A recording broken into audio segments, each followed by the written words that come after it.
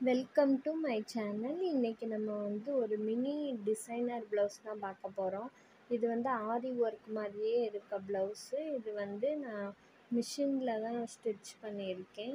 அதாவது நம்ம ஆரி ஒர்க்கில் பீட்ஸை சுகர் பீட்ஸ் வச்சு பண்ணுவோம். இதில் வந்து பால் செயின் வச்சு எப்படி பண்ணலான்னு பார்க்கலாம். வீடியோ ஃபுல்லாக பாருங்கள் ஸ்கிப் பண்ணாமல் பாருங்கள் அப்போ தான் புரியும். இந்த மினி ப்ளவுஸ் எப்படி வந்து ஸ்டிச் பண்ணியிருக்கேன் அப்படின்ற வீடியோ வேணும்னா அஸ்ஜோ டால்ஸ் அப்படின்னு வந்து சேனலில் அப்லோட் பண்ணுவேன். அந்த சேனலோட லிங்க் வந்து கீழே கொடுக்குறேன். அந்த சேனலும் உங்களுக்கு பிடிச்சிருந்தா ஃபாலோ பண்ணுங்கள் அது இனிமேல் தான் அப்லோட் பண்ணணும் அந்த ப்ளவுஸ் வீடியோ. அப்லோட் பண்ணதும் நீங்கள் சப்ஸ்கிரைப் பண்ணி வச்சுக்கோங்க பார்க்க உங்களுக்கு யூஸ்ஃபுல்லாக இருக்கும். இப்போ நம்ம இது எப்படி வந்து பண்ணோம் அப்படின்றத பார்க்கலாம்.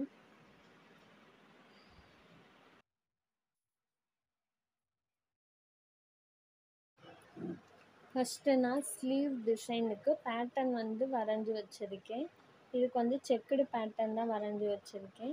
கீழே வந்து குட்டியாக பார்டர் மாதிரி கொடுத்துட்டு ஃபுல்லாக வந்து செக்குடு பேட்டர்னில் கொடுக்க போகிறோம் பார்டருக்கு ஒரு கால் இன்ச்சு போல் வந்து விட்டுக்கலாம். அடுத்து செக்குடு பேட்டர்னுமே நம்ம வந்து ஒரு சின்ன சைஸ் அளவுக்கு வந்து வரைஞ்சிக்கிட்டேன். இப்போ வந்து கீழே சேட்டன் ஸ்டிச் வந்து போட்டுக்கலாம்.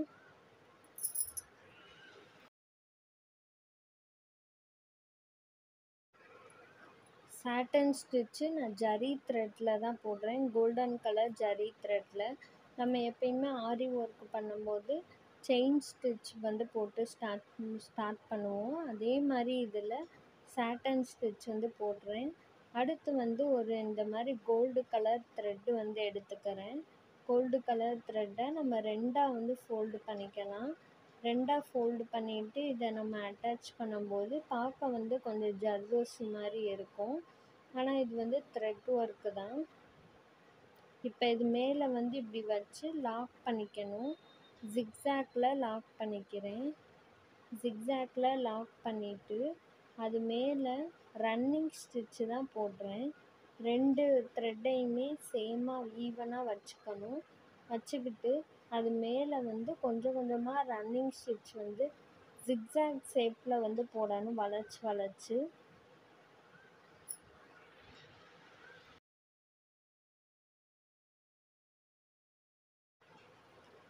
இந்த மாதிரி கோல்டன் கலர் த்ரெட்டை நம்ம டோரி த்ரெட் அப்படின்னு சொல்லலாம். இப்போ ஃபுல்லாக நம்ம வந்து ரன்னிங் ஸ்டிச்சிலே முடிச்சாச்சு. இப்போ இதை கட் பண்ணி எடுத்துடலாம். கட் பண்ணிவிட்டு லாஸ்ட்டாக ஒரு ஜிக்ஸாக்கில் லாக் பண்ணிடணும். நெக்ஸ்ட்டு வந்து ஸ்டோன் செயின் தான் எடுத்திருக்கேன். ஒயிட் கலர் ஸ்டோன் செயின் இந்த ஸ்டோன் செயினை எப்படி ஸ்டிச் பண்ணணும்னா ஃபஸ்ட்டு ஒரே ஒரு ஸ்டோனை மட்டும் நம்ம லாக் பண்ணிக்கணும்.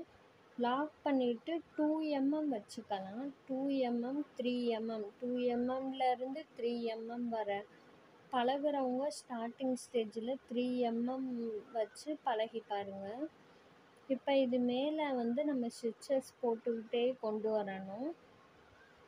அந்த ஸ்டோன் உடையாமல் ப்ராக்டிஸ் பண்ணணும். நெக்ஸ்ட்டு வந்து பால் செயின் தான் எடுத்திருக்கேன். பால் செயினையும் நம்ம ஒரு ஒரு பால்ஸை வந்து லாக் பண்ணிவிட்டு அதை அப்படியே நம்ம பிடிச்சிக்கணும். பிடிச்சிக்கிட்டு அந்த ஸ்டோன் செயின் பக்கத்துலேயே நம்ம லாக் பண்ணி கொண்டு வரணும். நம்ம ஜிக்ஸாக் போடுறதையே கொஞ்சம் வந்து பெருசாக போடணும். அதாவது ஃப்ரேமை நல்லா மூவ் பண்ணிக்கிட்டே கொண்டு வரணும். ஃப்ரேமை அதே இடத்துல வச்சுருந்தோன்னா நமக்கு த்ரெட்டு வந்து ரொம்ப தெரியும். இப்போ இந்த பால் செயின்லேயே ஸ்டிச்சஸ் வந்து போட்டாச்சு. நெக்ஸ்ட்டு வந்து இந்த ஹேண்டோட மேல் இதை பாருங்கள் மேல் இதிலேருந்து நம்ம அப்படியே வந்து ஸ்டிச் பண்ணக்கூடாது. கொஞ்சம் வந்து ஒரு கால் இன்ச்சு போல் உள்ளே தள்ளி நம்ம அதே மாதிரியே மார்க் பண்ணிக்கணும்.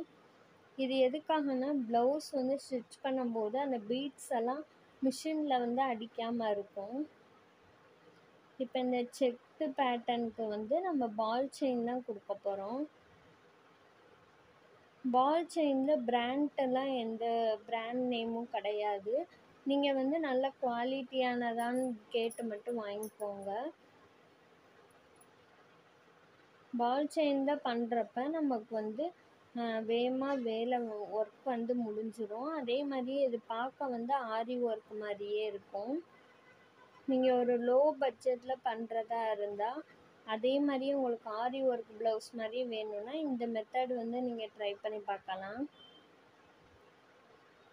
இப்போ அந்த பால் செயினை லாக் பண்ணிவிட்டு அப்படியே ஃப்ரேமை மூவ் பண்ணிகிட்டே கொண்டு போகிறேன் பாருங்கள் நமக்கு எந்த சைடு பேட்டர்ன் வந்து முடியுதோ அங்கே கட் பண்ணி எடுத்துடணும்.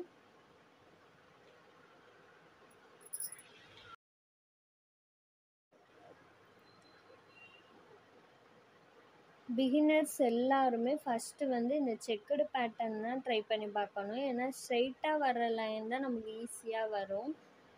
அதனால் இந்த மாதிரி செக்குடு பேட்டர்ன் டிசைனாக ஃபஸ்ட்டு வந்து ட்ரை பண்ணி பாருங்கள் இப்போ த்ரீ எம்எம் கீழே வந்து நீங்கள் ஜிக்ஸாக் போட்டிங்கன்னா அந்த பீட்ஸ் மேலே பட்டு பீட்ஸ் வந்து உடஞ்சிரும்.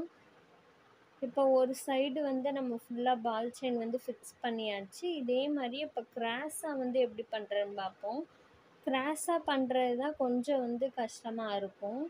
இப்படி வந்து லாக் பண்ணிக்கோங்க. லாக் பண்ணிவிட்டு அந்த பீட்ஸ் மேலேயே வரும்போது கொஞ்சம் வேகமாக ஃப்ரேமை வந்து மூவ் பண்ணணும். அந்த பீட்ஸ் மேலே அதாவது ரெண்டு பீட்ஸும் சேர்கிற இடத்துல ரொம்ப வந்து நம்ம ஸ்டிச்சஸ் வந்து போடக்கூடாது. அப்படி போடும்போது அந்த பீட்ஸ் வந்து கட் ஆக சான்சஸ் இருக்குது நம்ம ஃப்ரேமை எந்த அளவுக்கு வந்து மூவ் பண்ணுறோம் அப்படின்றது தான் இந்த டிசைன் வந்து நம்ம வேகமாக கற்றுக்க முடியும். மிஷின் எம்ப்ராய்டரியில் உங்களுக்கு இந்த மாதிரி வந்து எந்த மாதிரி உங்களுக்கு ஆரி ஒர்க்கு ப்ளவுஸ் மெத்தட் மாதிரி வேணுமா? இல்லை எந்த மாதிரி வேணுமோ கமெண்ட் பண்ணுங்கள்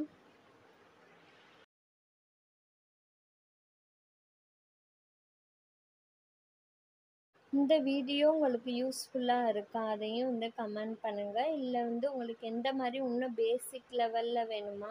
இல்லை அட்வான்ஸ் லெவலில் வேணுமா? அப்படின்றதையும் க இது பண்ணுங்கள் ஏன்னா மிஷின் எம்ப்ராய்டு வீடியோ வந்து தமிழில் அந்தளவுக்கு வந்து இருக்காது. உங்களுக்கு எந்த மாதிரி வேணுன்றத வச்சு தான் நான் வீடியோஸ் நிறைய அப்லோட் பண்ண முடியும். இந்த பீட்ஸை வந்து கட்டர் வச்சு நம்ம கட் பண்ணிக்கலாம். இந்த மாதிரி பாயிண்ட்லேருந்து ஸ்டார்ட் பண்ணும்போது மட்டும் கொஞ்சம் கவனமாக இது பண்ணணும். ஏன்னா நம்ம ஃபிங்கர்ஸ் வந்து பக்கத்தில் வச்சுருக்கும் போது நீடில் நம்ம கையில் வந்து குத்திரும். அது அப்போ மட்டும் கொஞ்சம் கவனமாக பார்த்து இது பண்ணணும். இப்போ நான் செக்குடு பேட்டர்ன் ஃபுல்லாக முடிச்சுட்டேன். நெக்ஸ்ட்டு வந்து நம்ம அந்த செக்குடுக்குள்ளே ஃபில்லிங்ஸ் தான் பண்ண போகிறோம் அதுக்கு திலகம் ஷேப்பில் ரெயின்போ ஸ்டோன் தான் எடுத்திருக்கேன். இந்த ஸ்டோன் வந்து பார்க்கவே ரொம்ப அழகாக இருக்கும். அதே மாதிரி வந்து எல்லா இதுக்குமே மேட்ச் ஆகும். இந்த ரெயின்போ ஸ்டோன் இது. இந்த மாதிரி இந்த செக்குடெல்லாம் வந்து ஜாயிண்ட் ஆகுது இல்லையா? அந்த நாலு பிளேஸ்லேயுமே நம்ம வந்து க்ளூ வந்து அப்ளை பண்ணிக்கலாம். க்ளூ வந்து ஸ்டோன் எந்த அளவுக்கு இருக்கோ அந்த அளவுக்கு நம்ம தேவையான அளவு அப்ளை பண்ணிக்கலாம். அதே மாதிரி ஃபெஃபிக்ரில் தான் யூஸ் பண்ணணும். ஃபேப்ரிக் க்ளூன்னு கேட்டு பாருங்கள் கடைகள்லாம் கிடைக்கும். இந்த மாதிரி ஒரு நீடில் வந்து எடுத்துக்கிறேன். நீடிலில் லைட்டாக கம் தொட்டுக்கிட்டு ஸ்டோன் வந்து எடுத்து ஒட்ட உங்களுக்கு ரொம்பவே ஈஸியாக இருக்கும். ட்ரை பண்ணி பாருங்கள் இந்த மெத்தடில் இப்போ அந்த திலகம் ஷேப் ஃபுல்லாக வந்து அந்த செக்குடில் வர்ற மாதிரி வச்சுக்கணும். ஃபுல்லாக வச்சதும் நமக்கு ஒரு அழகான டிசைன் வந்து கிடைக்கும். செக்குடு பேட்டர்ன்லேயே நல்ல கிராண்டான ஒர்க்காக வந்து கிடைக்கும்.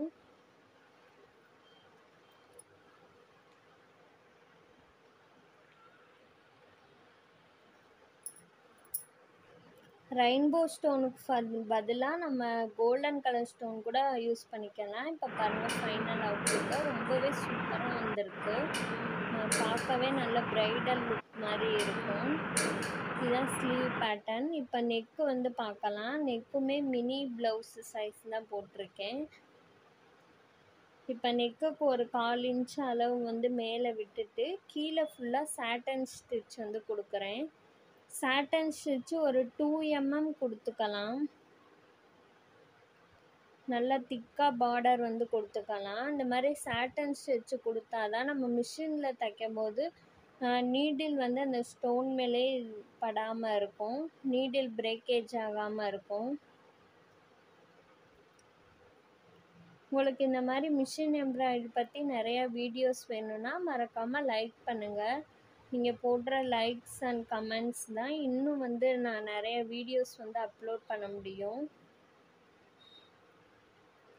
மறக்காமல் சப்ஸ்கிரைப் பண்ணி வச்சுக்கோங்க. அப்போ தான் நான் போடுற நியூ வீடியோஸ் எல்லாமே நீங்கள் அப்டேட்டடாக பார்த்துக்க முடியும். சேட்டன் ஸ்டிச் போட்டு இந்த மாதிரி நெக்கு வளைவு இடங்கள்லாம் ஃப்ரேமை லைட்டாக நம்ம மூவ் பண்ணிக்கிட்டே வரணும். இப்போ நம்ம சேட்டன் ஸ்டிச் வந்து போட்டாச்சு. அதே மாதிரி ஹேண்டுக்கு போட்ட மாதிரியே கோல்டன் கலர் த்ரெட் வந்து எடுத்திருக்கேன். இந்த கோல்டன் கலர் த்ரெட்டை ரெண்டாக வந்து ஃபோல்டு பண்ணிக்கலாம். ரெண்டாக ஃபோல்டு பண்ணி போடும்போது உங்களுக்கு அந்த லுக் வந்து நல்லாயிருக்கும் பார்க்க. இப்போ அந்த கோல்டன் கலர் த்ரெட் மேலே நான் ரன்னிங் ஸ்டிச் தான் போடுறேன். ஏன்னா இது மேலே ஜிக்ஸாக் ஸ்டிச் வந்து போட்டோம் அப்படின்னா நமக்கு வந்து அந்த கோல்டன் கலர் த்ரெட்டே வந்து அந்த அளவுக்கு லுக்காக தெரியாது. அதனால் ரன்னிங் ஸ்டிச்சே வந்து போட்டுக்கலாம். நீடில் நம்பர் பதினாலு யூஸ் பண்ணுறேன் ஃபோர்டீன் நம்பர் ஜரி த்ரெட்டுக்கும் சில்க் த்ரெட்டுக்கும் இந்த நீடில் நம்பர் சேமாக நம்ம யூஸ் பண்ணிக்கலாம். நெக்ஸ்ட்டு வந்து ஸ்டோன் செயின் வந்து ஸ்டிச் பண்ணிக்கிறேன். ஸ்டோன் செயினை வந்து லாக் பண்ணிக்கணும். லாக் பண்ணிவிட்டு நான் முன்னாடி ஹேண்டுக்கு சொன்ன மாதிரியே ஸ்டிச் பண்ணிக்கணும். ஃப்ரேமை வந்து நம்ம மூவ் பண்ணுறதுல தான் இருக்குது ஒரே இடத்துல வச்சிட்டோன்னா அந்த இடத்துல வந்து ஸ்டிச்சஸ் விழுந்து அந்த ஸ்டோனே மறைஞ்சிரும். இதே வேமாவும் மூவ் பண்ணக்கூடாது.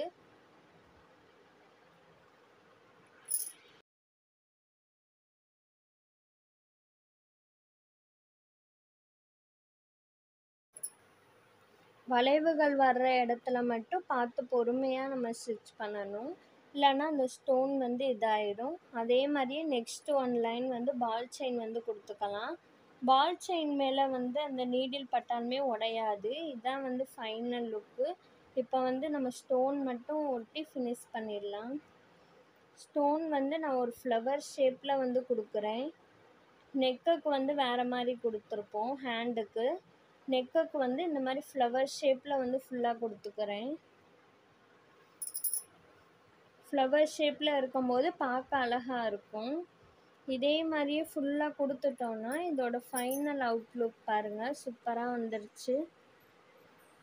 இந்த வீடியோ உங்களுக்கு பிடிச்சிருந்துச்சு அப்படின்னா மறக்காமல் லைக் பண்ணுங்கள் ஷேர் பண்ணுங்கள் கமெண்ட் பண்ணுங்கள் நெக்ஸ்ட் ஒரு நியூ வீடியோவில் வந்து பார்க்கலாம். மிஷின் எம்ப்ராய்டரி வீடியோவில் நம்ம சேனல் பிடிச்சிருந்துச்சு அப்படின்னா மறக்காமல் சப்ஸ்கிரைப் பண்ணி வச்சுக்கோங்க. தேங்க்ஸ் ஃபார் வாட்சிங் பாய்